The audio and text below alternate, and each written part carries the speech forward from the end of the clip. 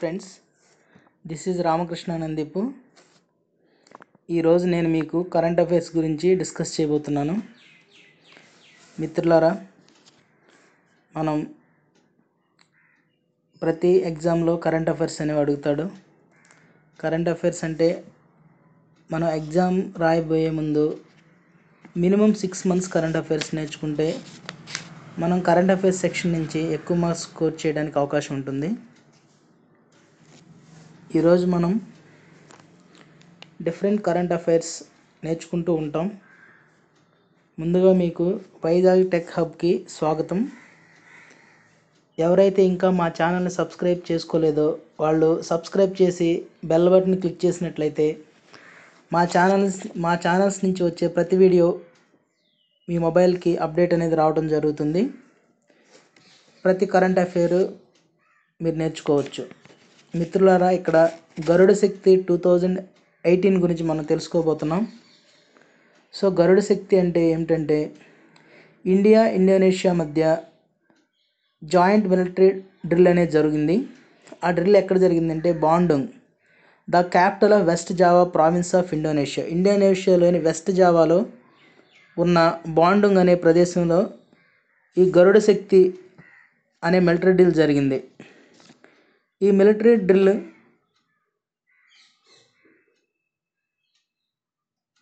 ఇండోనేషియాలోని west జావాలో జరగడం జరిగింది. This is the sixth edition ఇది సిక్స్త్ ఎడిషన్ మిలిటరీ డ్రిల్. ఇది మా ఫిబ్రవరి ట్వంటీ ఫస్ట్ నుంచి మార్చ్ ఫోర్త్ వరకు బాండుంగ్లో జరుగుతుంది. సో ఈ మనం Garuda Shakti two thousand eighteen నుంచి నేర్చుకున్నాం తెలుసుకుంటున్నాం. సో ఎక్కడ జరిగింది? ఇండోనేషియా జరిగింది. వాడు గరు గరుడ శక్తి గురించి అయినా ఎగ్జామ్లో అడగొచ్చు. లేకపోతే ఇండోనేషియా క్యాపిటల్ అడగొచ్చు కరెన్సీ అడగొచ్చు లేదా ప్రెసిడెంట్ ఎవరైనా అడగొచ్చు. సో అందువల్ల మనం ఏంటంటే ఏదైతే పర్టికులర్ ఒక విషయం గురించి నేర్చుకుంటున్నామో అది ఎక్కడ జరిగింది ఆ కంట్రీ డీటెయిల్స్ మొత్తం నేర్చుకోవాలి. ఎందుకంటే ఆ పర్టికులర్ యొక్క ఆ పర్టికులర్స్ నేర్చుకోవడం వల్ల మనం ఎగ్జామినర్ ఎలా అడిగినా కూడా మనం రాయడానికి అవకాశం ఉంటుంది. ఇండోనేషియా క్యాపిటల్ మిత్రులారా జకార్తా. కరెన్సీ ఇండోనేషియా రూపాయి R U P I A H ఎందుకంటే స్పెల్లింగ్ అనేది చాలా ఇంపార్టెంట్ మిత్రులారా. ఎందుకంటే ఫోర్ ఆప్షన్స్ సిమిలర్గా ఉంటాయి. ఎవరైతే స్పెల్లింగ్ కరెక్ట్గా తెలిసిద్దో వాళ్ళే ఆన్సర్ చేయగలరు. ప్రెసిడెంట్ జోకో వివి Widodo president Joko Widodo. So Garuda Shakti అనేది ఇండియా ఇండోనేషియాల మధ్య జరిగిన it is nothing but a one military drill ఈ మిలిటరీ డ్రిల్ జరపడం యొక్క ముఖ్య ఉద్దేశం ఏంటంటే రెండు దేశాల మధ్య మిలిటరీ టెక్నాలజీని ఇచ్చిపుచ్చుకోవటం మ్యూచువల్ అండర్స్టాండింగ్ అనేది జరుగుతుంది. నెక్స్ట్ రెండు దేశాల మధ్య దౌత్య సంబంధాలు డిప్లొమాటిక్ ఇష్యూస్ అనేవి సక్రమంగా జరగడానికి ఈ మిలిటరీ డ్రిల్స్ అనేవి ఉపయోగపడతాయి. నెక్స్ట్ మిత్రుల నెక్స్ట్ వీడియోకి uh, వెళ్దాం. ఇక్కడ World Environment Day World Environment Day గురించి తెలుసుకోబోతున్నా వరల్డ్ ఎన్విరాన్మెంట్ డే అనేది జూన్ ఫిఫ్త్ ఎవ్రీ ఇయర్ ప్రపంచం మొత్తం మీద వరల్డ్ ఎన్విరాన్మెంట్ డే అనేది జరుగుతుంది. ఈ ఆనవాయితీగా వస్తున్నది ఏమిటంటే ఈ వరల్డ్ ఎన్విరాన్మెంట్ డేని ప్రతి సంవత్సరం ఒక కంట్రీ అనేది సెలబ్రేట్ చేస్తుంది. గ్లోబల్గా సెలబ్రేట్ చేస్తుంది. So union minister of environment doctor Harshvardhan announced that this year World Environment Day celebrations will be hosted by India. Union minister of environment Harshvardhan గారు ఏం చెప్పారంటే ఈ సంవత్సరం వరల్డ్ ఎన్విరాన్మెంట్ డే అనేది భారతదేశము సెల గ్లోబల్ వైజ్గా సెలబ్రేట్ చేస్తుంది అని హర్షవర్ధన్ గారు చెప్పడం జరిగింది. ప్రతి ఇయర్ ఎన్విరాన్మెంట్ డేకి కానీ ఏదైనా ఒక పర్టికులర్ ఇష్యూకి ఒక థీమ్ అనేది ఉంటుంది. ఈ సంవత్సరం ఏంటంటే ప్లాస్టిక్ వల్ల విశ్వమునుకో అంటే ప్రపంచానికి చాలా హజాడస్ ప్రపంచానికి చాలా నష్టం అనేది జరుగుతుంది. సో ఈ సంవత్సరం థీమ్ ఏంటంటే బీట్ ప్లాస్టిక్ పొల్యూషన్. ప్లాస్టిక్ పొల్యూషన్ని తీసివేయటం అనేది ఈ సంవత్సరం యొక్క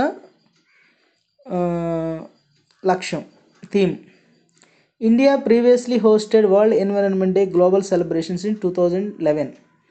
మన భారతదేశం రెండు వేల పదకొండులో వరల్డ్ ఎన్విరాన్మెంట్ డేని గ్లోబల్ వైజ్గా హోస్ట్ చేసి సెలబ్రేట్ చేయడం అనేది జరిగింది. అంటే వరల్డ్ ఎన్విరాన్మెంట్ డే ఇప్పుడు జూన్ ఫిఫ్త్న జరుగుతుందని తెలుసుకున్నాం. ఈ రెండు వేల పద్దెనిమిది వరల్డ్ ఎన్విరాన్మెంట్ డేని భారతదేశం సెలబ్రేట్ చేస్తుందని తెలుసుకున్నాం. సో భారతదేశం సెలబ్రేట్ చేస్తుందని తెలుసుకున్నప్పుడు ముందు గతంలో ఎప్పుడైనా భారతదేశం చేసిందా అని తెలుసుకున్నాం. ఎందుకు? రెండు వేల పదకొండులో భారతదేశం World Environment Day global celebrations చేసింది. మిత్రులాడా ఇదొకే ఇది క్లియర్గా ఉంది కదా మీకు? నెక్స్ట్ దానికి వెళ్తున్నాను. World Day of Social Justice. World Day of Social Justice celebrated on or observed all over the world on Jan February twenty. World Day of Social Justice ఫిబ్రవరి ఇరవయో తారీఖున ప్రపంచం మొత్తం జరుపుకుంటారు.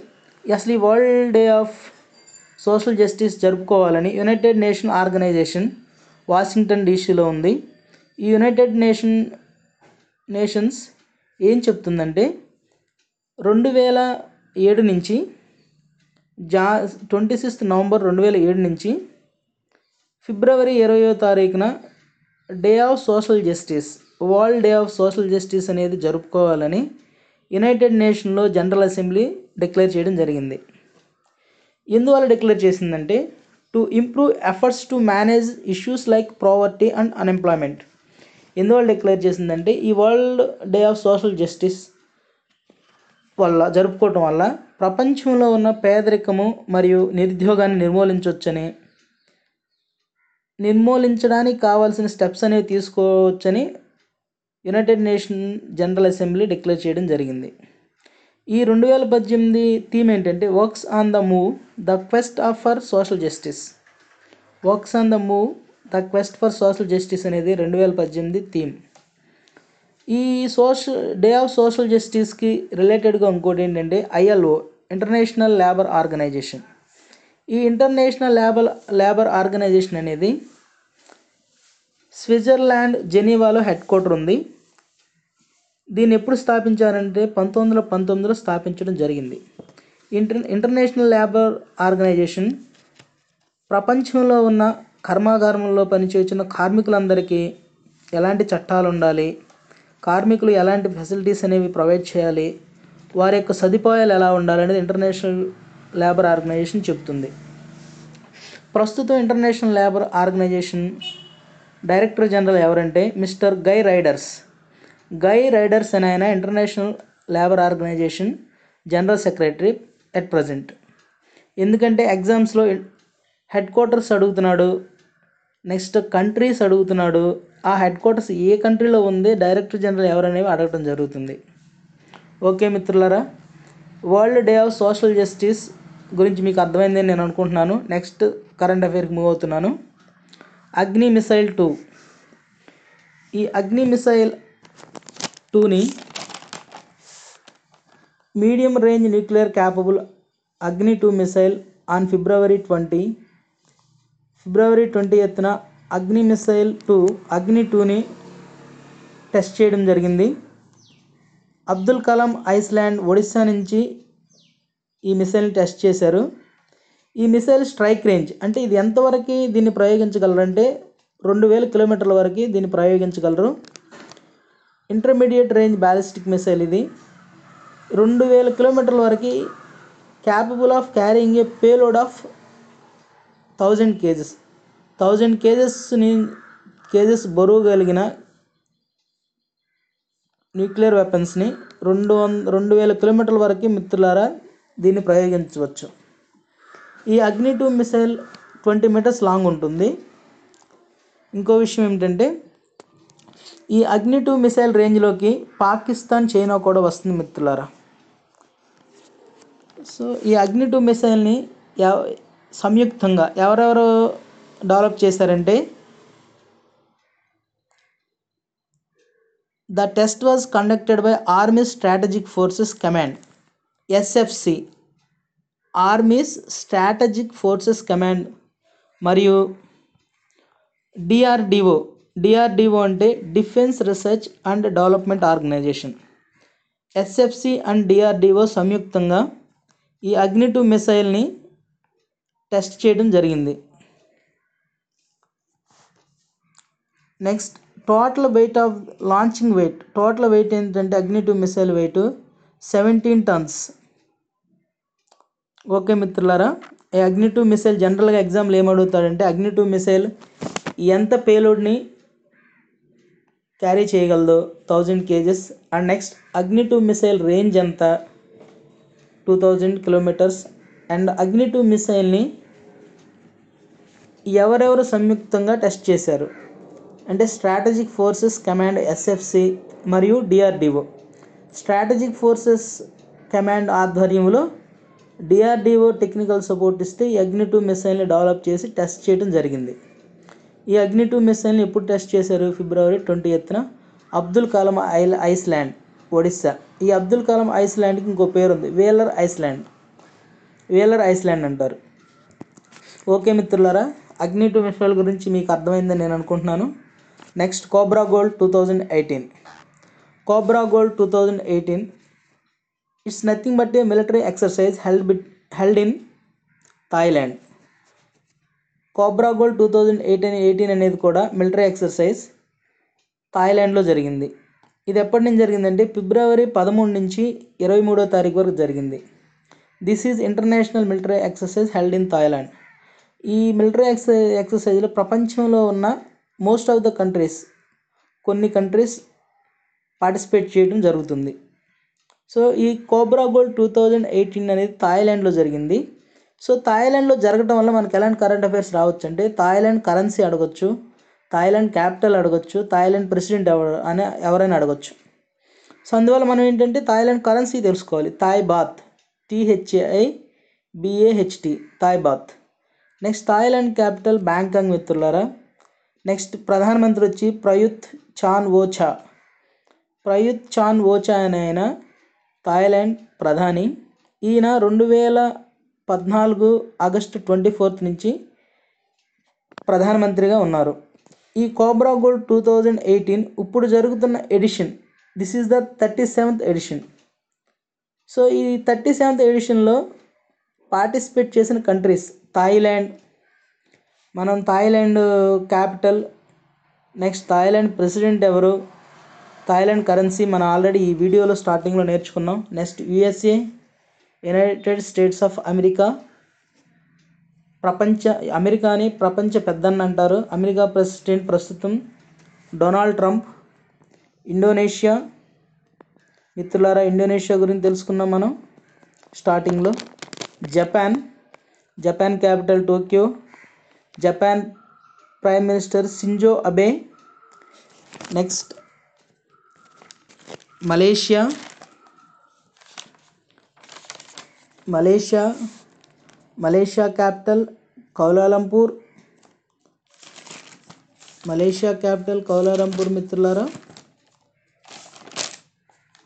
next Malaysia currency ringgit RIN GIT ringgit Malaysia president Malaysia sorry Malaysia ప్రధానమంత్రి Najib Razak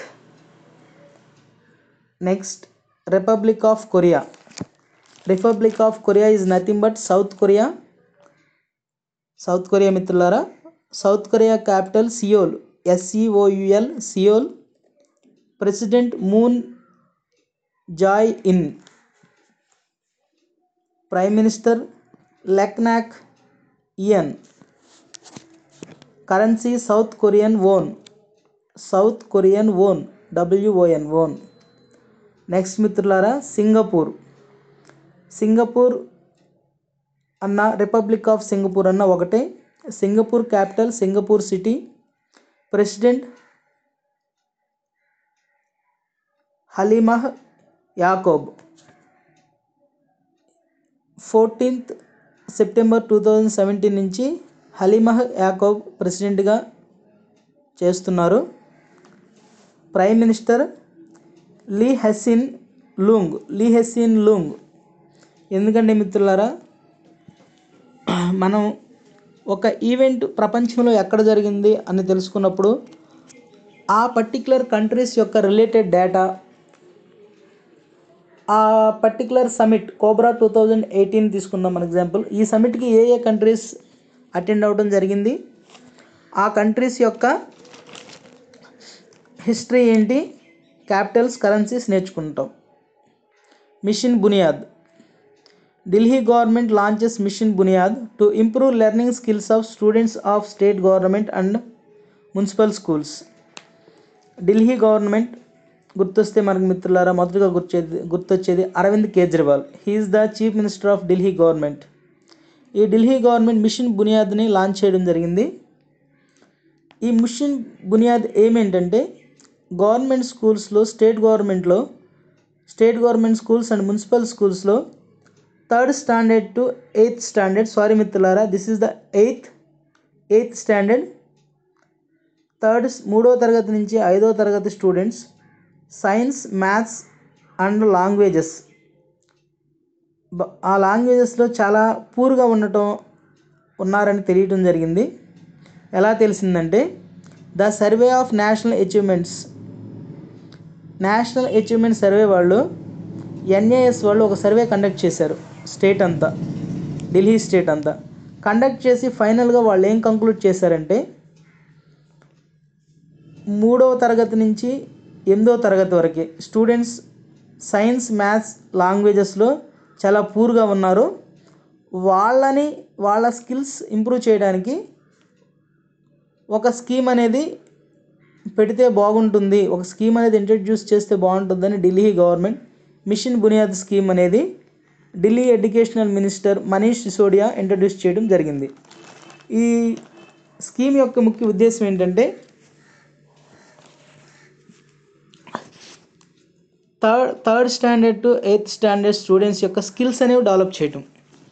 వీళ్ళకి ఒక test అనేది conduct చేస్తారు ఏప్రిల్లో సమ్మర్ హాలిడేస్లో అప్ టు మార్క్ అంటే టాప్ వచ్చిన స్టూడెంట్స్ ఉజ్వాల అన్న స్కీమ్లో ఉంటారు. మీడియం లెవెల్ స్టూడెంట్స్ ఉత్కర్ష్ అన్న స్కీమ్లో ఉంటారు. Other will be Udyam group. ఈ మూడు గ్రూప్స్ కింద స్టూడెంట్స్ని డివైడ్ చేసి ఆ స్టూడెంట్స్ స్కిల్స్ అనేవి ఇంప్రూవ్ చేయటం జరుగుతుంది. So mission Buniyaad is related to the Delhi government. Mission Buniyaad అనే స్కీమ్ని ఢిల్లీ గవర్నమెంట్ ఇంట్రడ్యూస్ చేసింది. మిత్రులారా ఢిల్లీ గవర్నమెంట్ గురించి మనం చదువుతున్నాం కాబట్టి ఆ particular Delhi government CM Arvind Kejriwal governor Anil Baijal.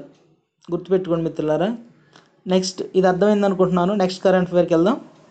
Punjab to install micro ATMs in cooperative institutions across the state Punjab government ఏం చేస్తుందంటే స్టేట్లో ఉన్న ప్రైమరీ అగ్రికల్చర్ కోఆపరేటివ్ సొసైటీస్ మరియు డిస్టిక్ సెంట్రల్ కోఆపరేటివ్ సొసైటీస్లో మైక్రో ఏటీఎమ్స్ మనం మనం చూసే ఉంటాం మన ఏటీఎంకి వెళ్ళామంటే మనీ డ్రా చేసుకుంటాం. డిఫరెంట్ ట్రాన్సాక్షన్స్ అనేవి జరుగుతున్నాయి. కానీ ఈ మైక్రో ఏటీఎంకి మనం యూస్ చేసే మెయిన్ ఏటీఎంకి ఒకటే డిఫరెన్స్ మిత్రులారా. మనం యూస్ చేసే ఏటీఎంలో మనీ డైరెక్ట్గా విత్డ్రా చేసుకోవచ్చు. మనీ డైరెక్ట్గా విత్డ్రా చేసుకోవడం జరుగుతుంది. ఈ మినీ మైక్రో ఏటీఎంలో ఏంటంటే మనీ రాదు. అన్ని ట్రాన్సాక్షన్స్ చేసుకోవచ్చు.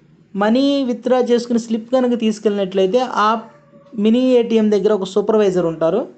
ఆయన మనకి మనీ అనేది ఇస్తారు. Punjab government install micro ATMs in cooperative institutions across the state. స్టేట్లో ఉన్న మూడు వేల ఐదు వందల ముప్పై ఐదు మైక్రో ఏటీఎమ్స్ అనేవి తీసుకురావడం జరిగింది.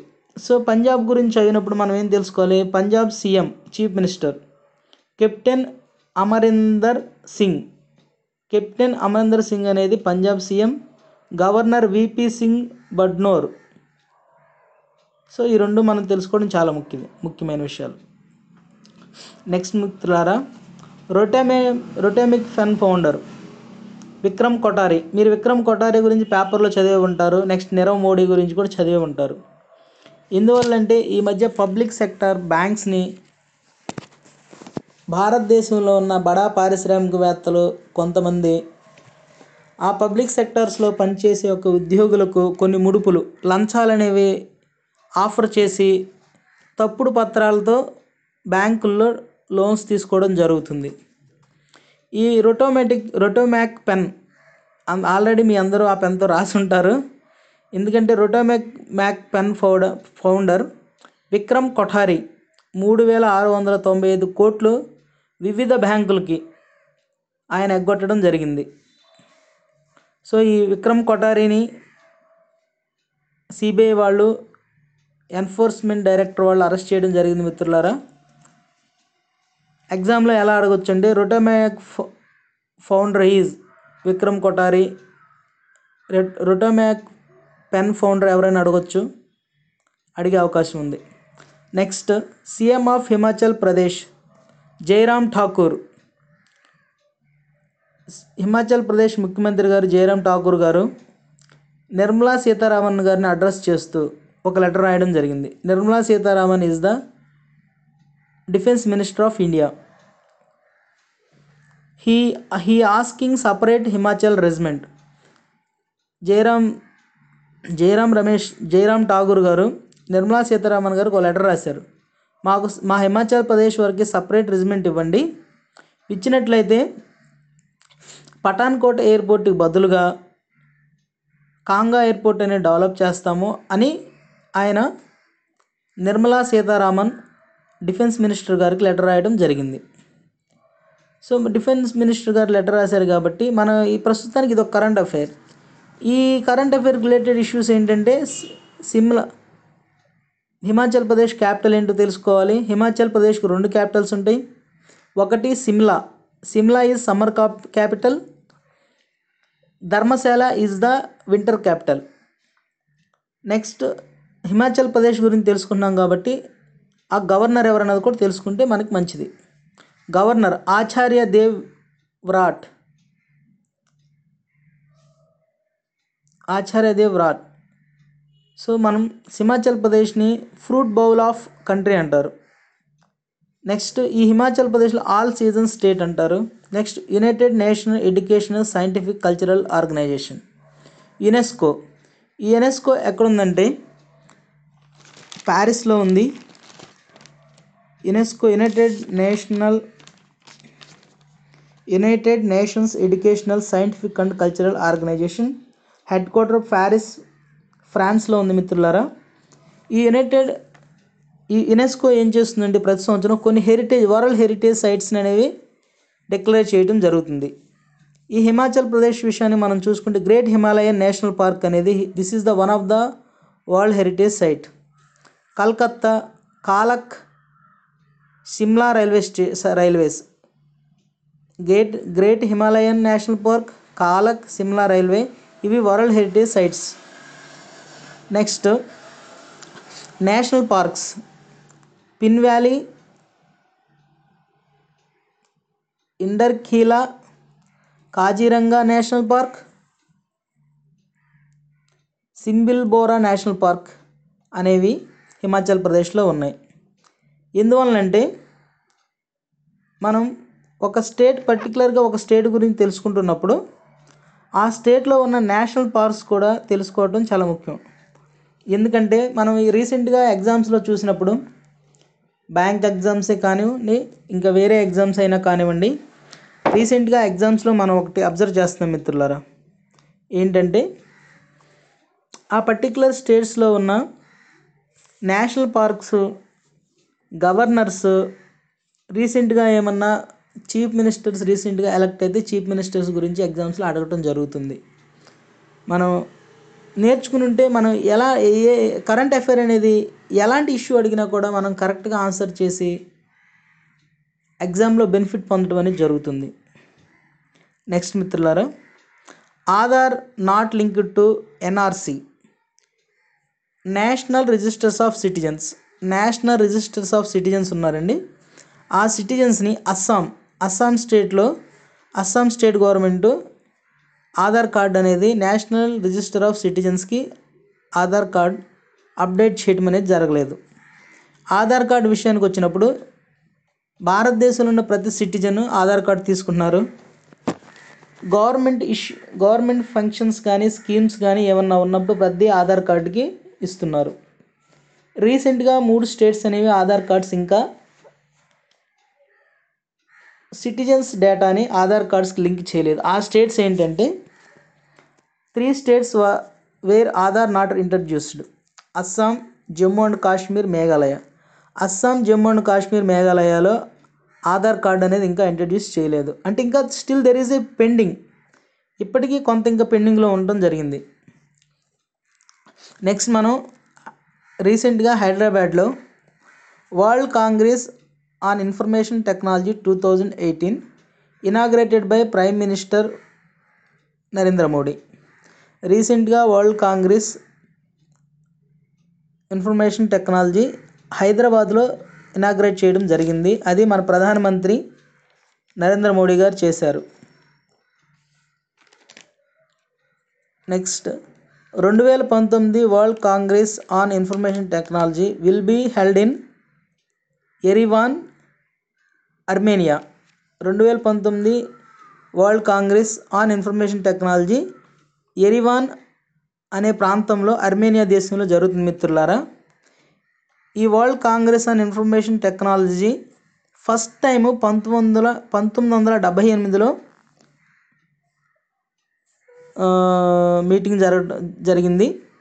NASSCOM India leadership forum will be will also takes place in Hyderabad. ఈ సంవత్సరం national association of software and services companies అంటే నాస్కమ్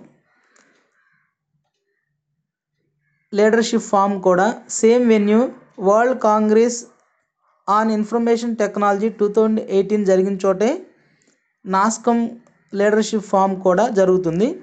అసలు ముందు నాస్కమ్ అంటే ఏంటి? వెబ్రివేషన్ కొన్ని ఎగ్జామ్స్లో అడుగుతాడు. National association for software and services companies. ఇదేంటంటే this is a trade association of IT and BPO services ఇది ఒక information technology and BPO services సంబంధించింది. This is a non profit organization ఈ ఆర్గనైజేషన్ ఎలాంటి బిజినెస్ కానీ ఏమీ చేయదు. కేవలం this is a supervisory body ఇది జస్ట్ సూపర్వైజ్ చేస్తుంది. ఈ నాస్కమ్ అనేది ఎప్పుడు ఎస్టాబ్లిష్ చేశారంటే పంతొమ్మిది వందల ఎనభై ఎనిమిదిలో ఎస్టాబ్లిష్ చేశారు. దీని హెడ్ క్వార్టర్ న్యూఢిల్లీలో ఉంది. చైర్మన్ రమణ్ రాయ్. ఈ నాస్కమ్ చైర్మన్ రమణ్ రాయ్ అండి. సో ఎందుకంటే ఎగ్జామ్స్లో చైర్మన్ ఎవరనే అడగడానికి అవకాశం ఉంది. హెడ్ క్వార్టర్ అడగొచ్చు ఎస్టాబ్లిష్ ఎప్పుడు చేశారని అడగొచ్చు. Next ASSOCHAM. Association chambers association commerce of sorry association chambers of commerce and industry of India ASSOCHAM. This is also trade association of India. ఎందుకంటే నాస్కం ఇది కూడా నాస్కం లాంటిదే.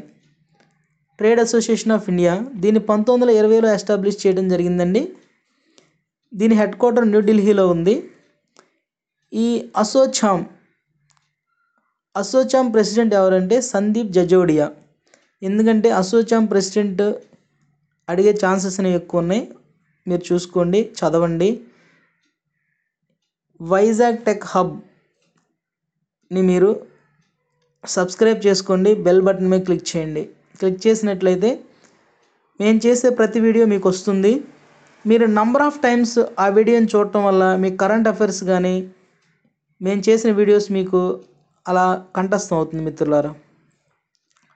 Next FICCI federation of Indian chambers commerce and industry ఇది కూడా మనం పైన చెప్పినట్లు వాళ్ళే అసోచాం నాస్కం లాంటిదే. Association of business organization FICCI.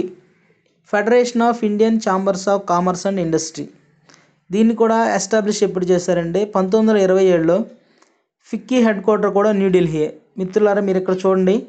మనం పైన డిస్కస్ చేసిన నాస్కం కానీ అసోచ అసోచాం కానీ ఫిక్కీ కానీ ఈ మూడిటి యొక్క హెడ్ క్వార్టరు న్యూఢిల్లీ అసోచామ్ని పంతొమ్మిది వందల ఇరవై ఏడులో ఎస్టాబ్లిష్ చేయడం జరిగింది. President Rashesh Shah. Rashesh Shah. Next bank bureau bank board bureau chairman Vinod Rai. Bank board bureau చైర్మన్గా వినోద్ రాయ్ గారిని ఎన్నుకోవడం జరిగింది. ప్రస్తుతానికి ఆయన టర్మ్ అనేది కంప్లీట్ అవ్వడం జరుగుతుంది. బట్ గవర్నమెంట్ ఇప్పటివరకు next bank board bureau chairman ఎవరనేది ఇంకా అనౌన్స్ చేయలేదు. ఎందుకంటే ఈ వినోద్ రాయ్ అనేవారు former CAG controller and auditor general. Controller and auditor general. President present CAG ఎవరంటే ఈయన వినోద్ రాయ్ గారు ఫార్మర్ కాగ్ మాజీ కాగ్. ఈ ప్రెసిడెంట్ ప్రస్తుతానికి ప్రస్తుత కంట్రోలర్ అండ్ ఆడిటర్ జనరల్ ఎవరంటే రా రాజీవ్ మెహర్షి. రాజీ మెహర్షి అనే ఆయన సెప్టెంబర్ ఇరవై ఐదు రెండు వేల పదిహేడు నుంచి controller and auditor general of ఇండియాగా పనిచేస్తున్నారు. ఈ controller and auditor general of India భారత రాజ్యాంగంలోని ఆర్టికల్ వన్ ఫార్టీ ఎయిట్ ప్రకారం కంట్రోలర్ అండ్ ఆడిటర్ జనరల్ని రాష్ట్రపతి నియమిస్తారు. మిత్రులారా ఈ ఈయనకి ఎలాంటి స్టేటస్ ఉంటుందంటే same status as a judge of supreme court supreme court ఒక జడ్జికి ఉన్న ఎలాంటి ఫెసిలిటీస్ ఎలాంటి స్టేటస్ అయితే ఉంటుందో అలాంటి ఫెసిలిటీస్ స్టేటస్ అనేది controller and auditor general of ఇండియాకు ఉంటుంది.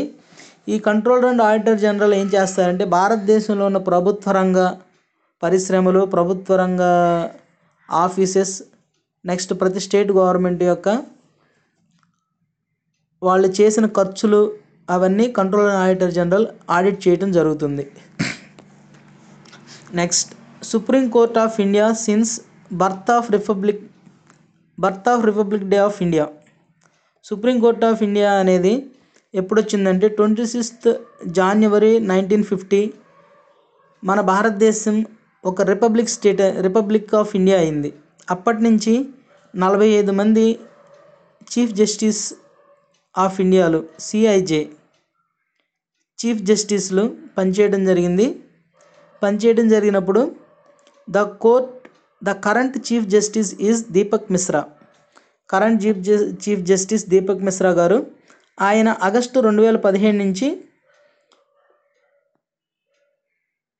సుప్రీంకోర్టు ప్రధాన న్యాయమూర్తిగా ఎన్నుకోవడం జరిగింది. ఈ దీపక్ మిశ్రా గారు bar council of Odisha. Bar కౌన్స్ council of Odisha రాష్ట్రానికి చెందిన ఆయన. Appointed by president of India Ramnath Kovind. ఈ చీఫ్ జస్టిస్ గారు కూడా కంట్రోల్ అండ్ ఆడిటర్ జనరల్ మాదిరిగానే చీఫ్ జస్టిస్ కూడా మన ప్రెసిడెంట్ చేత ఎన్నుకోబడతాడు. మనం సుప్రీంకోర్టు గురించి మాట్లాడుతున్నాం కాబట్టి మిత్రులారా చీఫ్ జస్టిస్ గురించి మొదటి చేసిన చీఫ్ జస్టిస్ ఎవరో తెలుసుకుంటే మనకు మంచిది. అందుకని first chief chief justice H J Kania. H J Kania అన్న ఆయన ఫస్ట్ చీఫ్ జస్టిస్గా చేశారు. మిత్రులారా మీరు మే మంచి కరెంట్ అఫేర్ చూడబోస్తున్నారు. ఎందుకంటే రీసెంట్గా తమిళనాడులో ఒక పార్టీ అనేది అనౌన్స్ చేయడం జరిగింది. ఆ పార్టీ ఎవరో సాదాసీదా వ్యక్తి అనౌన్స్ చేయలేదు. కమల్ హాసన్ తమిళనాడు దక్షిణాది రాష్ట్రాలకు భారతదేశం మొత్తం తెలిసిన ఒక ఫేమస్ అయిన వ్యక్తి ఒక సెలబ్రిటీ ఈ సెలబ్రిటీ ఒక పార్టీని అనౌన్స్ చేయడం జరిగింది. రాజకీయ పార్టీ. కమల్ హాసన్ గారిని చూస్తున్నాము. మన పక్కన సింబల్ అనేది చూస్తున్నాం. ఈ సింబల్ కమల్ హాసన్ గారు అనౌన్స్ చేసిన పార్టీ యొక్క సింబల్. పార్టీ పేరు ఏంటంటే మక్కల్ నిధి మయం. మక్కల్ నిధి మయం పీపుల్స్ జస్టిస్ సెంటర్. ఇది కమల్ హాసన్ గారి యొక్క పార్టీ నేమ్. ఇవి ఈ బొమ్మలో కనుక మనం చూసినట్లయితే మిత్రులారా six hands with white background చూస్తున్నాం. Three black hands three white hands sorry మిత్రులారా three white hands and three red red hands forming a circle in in back in బ్యా ఇన్ బ్లాక్ బ్యాక్గ్రౌండ్. ఇక్కడ ఆరు చేతులను చూస్తున్నాం. ఆరు చేతులు ఒక చేతిని బట్ ఒక చేతిని ఒక్కో చేతి చేతి సిరీస్ ఆకారంలో వన్ ఆఫ్టర్ వన్ అనేవి పట్టుకోవడం జరుగుతుంది మిత్రులారా.